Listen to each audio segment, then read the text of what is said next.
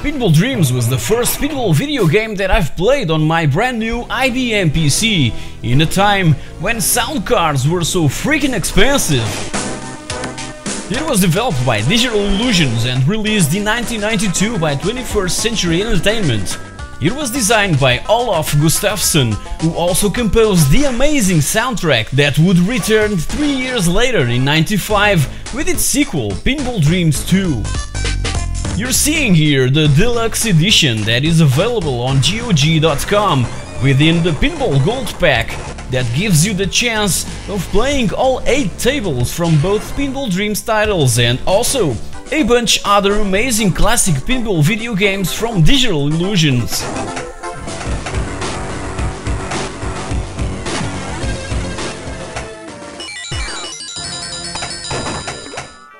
Now, here's the sequel to the title credited for being the very first point-and-click graphic adventure.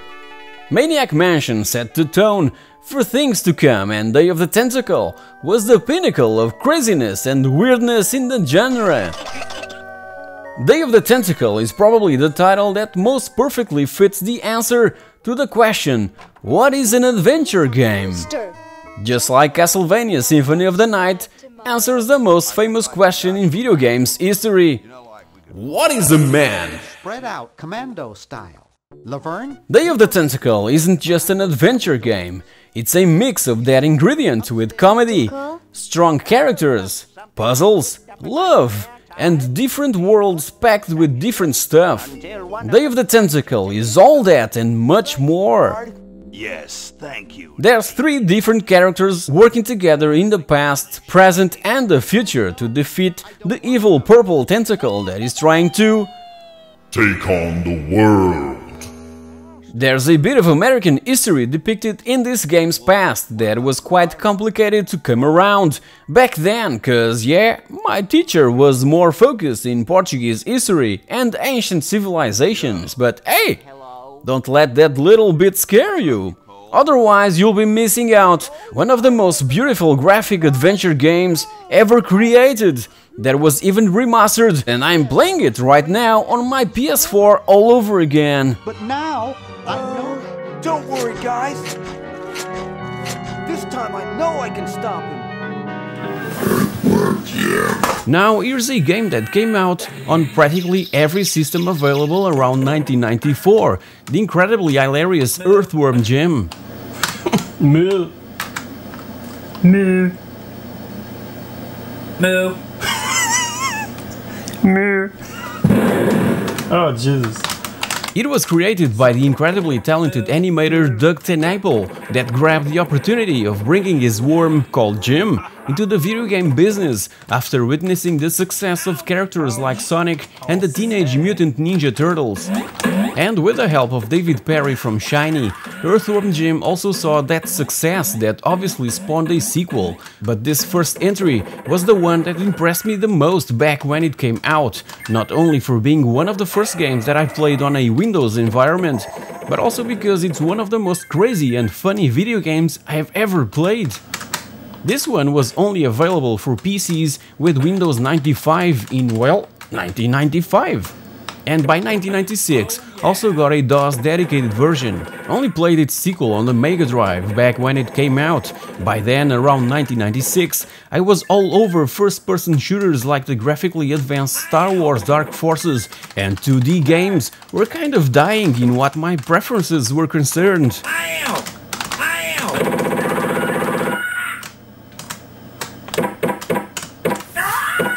This game set the bar for real-time strategy games that would come later. So many followed this winning formula, also because Dune 2 was the first real-time strategy game to use a full mouse control. As you all know, we act as a commanding officer, building up forces and then dispatching them across the battlefield. It's based on the bestseller by Frank Herbert and was developed by Westwood Studios back in 1992. It revolves around harvesting resources, the spice, to building the battle units necessary to lead to victory, one of the houses available. Many players would recall better the Command & Conquer series also from Westwood Studios, but it was here, on Dune 2, that all that good stuff started.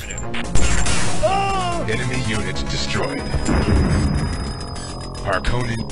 Pronouncing this game's title to my friends was so damn funny back in school by the time it was released, cause removing one of the D's on the second word of cannon fodder is a bit on the naughty side when pronounced in Portuguese.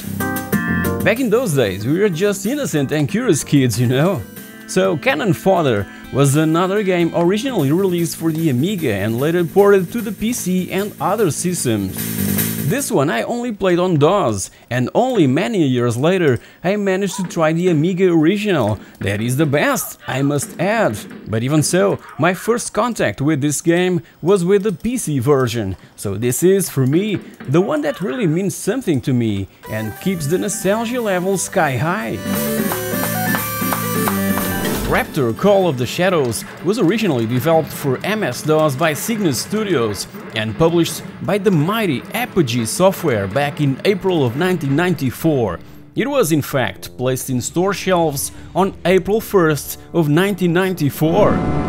When Apogee announced to the public that Raptor would be available on that day, everyone thought that it was an April Fool's joke, but it wasn't and the game was supposed to be called Mercenary 2029 and not Raptor Call of the Shadows. My first experience with it was provided by a shareware version available for DOS, which included the first episode, Bravo Sector, and its music, composed by Matt Murphy, still pounds in my mind since then.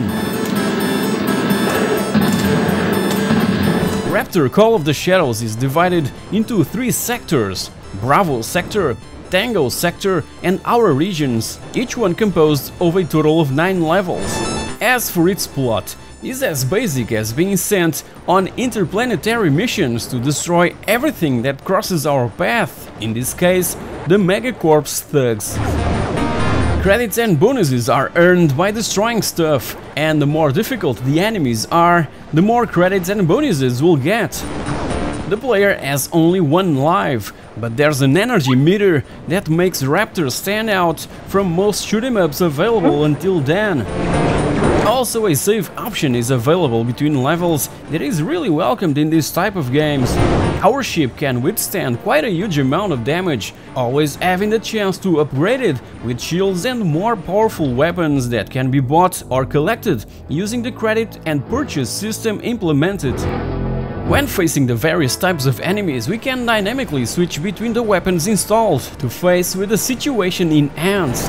The more original weapons present must be the auto-tracking turrets and besides the Mega Bomb that will destroy everything on screen, including enemy bullets and projectiles, there's this weapon that fires continuous instant beams capable of penetrating and destroying multiple targets in one shot. Also, we can purchase a certain item called the Ion Scanner that, when confronting a level boss, can measure its own energy and damage meter.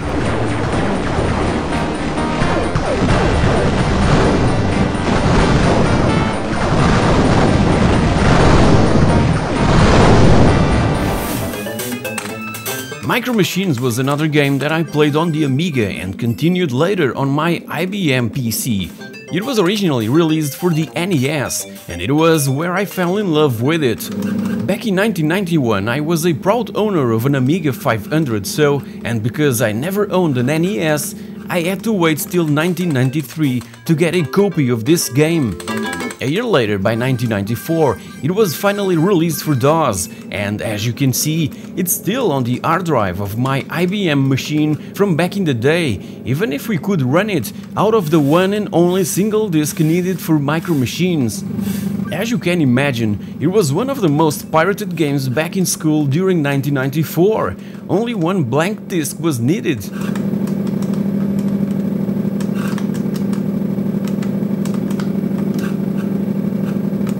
Jazz Jackrabbit was a sort of Sonic game that PC gamers were looking for. An extremely fast side-scrolling platformer, a style more common to see on consoles by that time.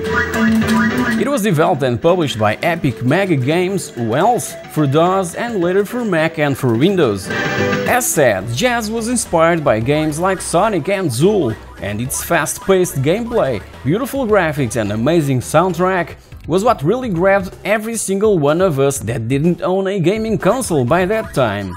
And this was the game that we would show to our friends that had, for instance, a Mega Drive or a Super Nintendo. They were impressed, I can tell you that, and started to look differently at computers, cause these beasts can also be fun. As for Warcraft, Orcs and Humans, it can be as addictive today as it was back when it came out in 94. And after I shot these images, I kept on playing it for hours. My liege, what? What do you want? This isn't a build base, build army and destroy enemy type of RTS. There are also missions where you need to rescue friendly forces and besiege villages, being such a major breakthrough within the genre. And it was highly enjoyable to play with a friend in multiplayer mode, by modem or over LAN. It was even the first RTS in history to support multiplayer capability. Yes, my lord. Its overwhelming success would eventually spawn a couple of sequels and later evolve to World of Warcraft, a MMORPG that would allow players to control their character and interact with each other around Azeroth in a high fantasy setting, something that has been consuming hours and hours of online gameplay to many gamers out there since 2004. I have so many other stories and memories to share back from the golden age of DOS gaming, so this is a theme that I'll soon get back to. As told in one of my recent videos, this IBM is one of the most precious items that I have here in my man cave. Its looks are so nostalgic for me, cause as I've mentioned so many times before, this precise one was my first PC that I bought at a chain of stores called Singer in September of 1993 and I still even have the original invoice. Computadores IBM PS1. Emocionantes. Fáceis. Versáteis. Computadores IBM PS1. A um micropreço nas lojas Singer. So guys, hope you've enjoyed this episode of It's a Pixel Thing. And if you did, don't forget to leave a like, to share this video with someone that might relate to it, to subscribe to the channel, to click on that bell icon to receive all notifications of upcoming videos, to give support through Patreon or YouTube memberships, and please share your own memories from the glory days of DOS gaming. Thank you very much for watching and I'll catch you all in my next video. Cheers!